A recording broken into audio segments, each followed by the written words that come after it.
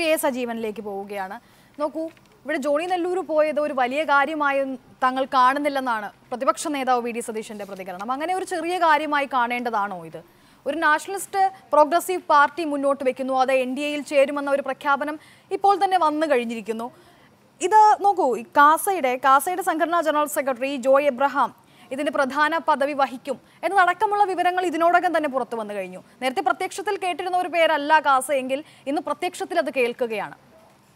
B J പിയുടെ ആശീർവാദത്തോടെയുള്ള ഒരു ക്രൈസ്തവ പാർട്ടി എന്ന് ഇതിനെ പറഞ്ഞാൽ അതിനെ തെറ്റു പറയാനാകുമോ? ഇപ്പോൾ പാമ്പ്ലാനി പിതാവിനെ കണ്ടു റബ്ബർ വില മുന്നൂറാക്കണമെന്ന അദ്ദേഹത്തിന്റെ പ്രസ്താവന. ഇവിടെ ജോണി നെല്ലൂർ ഇന്ന് നടത്തിയതും റബ്ബർ വില മുന്നൂറാക്കണം. നോക്കൂ ആ റബ്ബർ പൊളിറ്റിക്സും ഇവിടെ പ്രതിഫലിച്ച് കാണുന്നു ശ്രീ എസ് ജീവൻ. തീർച്ചയായിട്ടും. ഇതിനെ വി സതീശൻ പറഞ്ഞ പോലെ ലഘുവായിട്ട് കണ്ടിട്ട് കാര്യമില്ല. കാരണം ജോണി നെല്ലൂർ വലിയൊരു നേതാവായതുകൊണ്ട് അദ്ദേഹത്തിന്റെ പിറകെ അനേകാര്യങ്ങൾ പോകുമെന്നുള്ളതൊന്നുമല്ല പ്രശ്നം.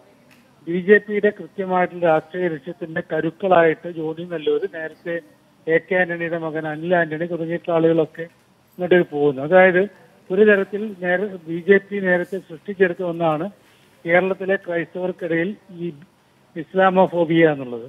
ബി ജെ പി വികാരത്തിനേക്കാൾ കൂടുതൽ ഇസ്ലാമോഫോബിയ ശക്തമായിട്ടുണ്ടാക്കുകയും ഇസ്ലാമോഫോബിയെ ചെറുക്കുന്ന ഒരു പാർട്ടി അത് യു ഡി എഫോ എൽ ഡി എഫോ അല്ല കോൺഗ്രസോ സി പി എമ്മോ അല്ല അത് ഞങ്ങളാണ് എന്ന രീതിയിൽ ബി ജെ പി അത് പ്രതിഫലിപ്പിക്കുന്നു. എല്ലാ പിന്നെ സഭാ നേതാക്കന്മാരുടെയും ആസ്ഥാനങ്ങളിൽ പോകുന്നു അവരെ കണ്ട് ആശീർവാദം വാങ്ങുന്നു അവരോട് സംസാരിക്കുന്നു. ഇതൊക്കെ ചെയ്ത ഒരു പശ്ചാത്തലത്തിന്റെ രണ്ടാമത്തെ ഘട്ടത്തിലാണ് ഈ ഒരു മാറ്റങ്ങളൊക്കെ ഉണ്ടാവുന്നത്. ഈ അനിൽ കെ ആന്റണി പോകുമ്പോൾ ഈ സുധാകരൻ പറഞ്ഞ പോലെ ഒരു കുഴിയാന പോകുന്നു എന്നുള്ളതല്ല പ്രശ്നം. അനിൽ കെ ആന്റണി ഒരു മാതൃകയാണ്. അനിൽ കെ ആന്റണി ഒരു ഒരു ഒരു ഒരു സൂചകമാണ്. ഈ എല്ലാ ക്രിസ്ത്യാനികൾക്കും ഇതാ നിങ്ങൾക്ക് ഇവിടെ സുരക്ഷിതരാണ് നിങ്ങൾ ഇവിടെ സുരക്ഷിതരാണ് എന്ന് സൂചിപ്പിച്ചു കൊടുക്കുകയാണ് അനിൽ കെ ആന്റണിയുടെ ലക്ഷ്യം. അതിന് അനിൽ കെ ആന്റണിയെ കരുവാക്കിയതുപോലെ തന്നെയാണ്. ഇപ്പോൾ ഒരു ക്രൈസ്തവ പാർട്ടിയെ ഉപയോഗിച്ചുകൊണ്ട് ഈ ക്രിസ്ത്യൻ കൺസോൾട്ടേഷൻ അതായത് പ്രത്യേകിച്ച് അതിനുള്ളൊരു ഒരു പ്രത്യേകത എന്ന് പറയുന്നത് ഇതിനു മുമ്പേ പി സി തോമസിനെ ഉപയോഗിച്ചുകൊണ്ട് ഇതേ രീതിയിൽ ബി ജെ പി ഒരു നീക്കം നടത്തിയിരുന്നു. അത് പി സി തോമസ് ജയിക്കുകയും ചെയ്തു. എം പി ആയിട്ട് അധികം തെരഞ്ഞെടുക്കപ്പെട്ടു.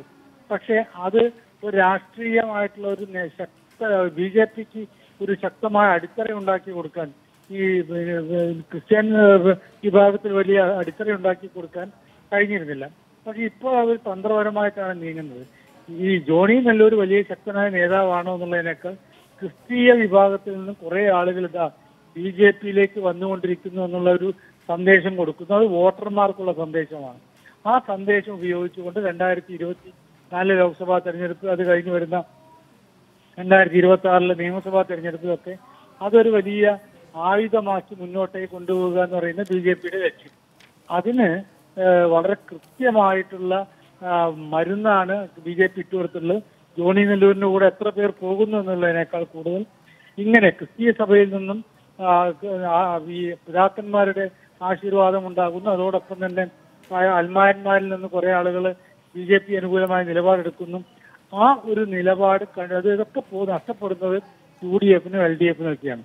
അപ്പോ അതിനെ വെറും ഒരു ഒരു തമാശയായിട്ട് വി ഡി സതീശനൊക്കെ എടുത്തതുപോലെ എടുക്കുന്നതിൽ ഒരു അർത്ഥവുമില്ല.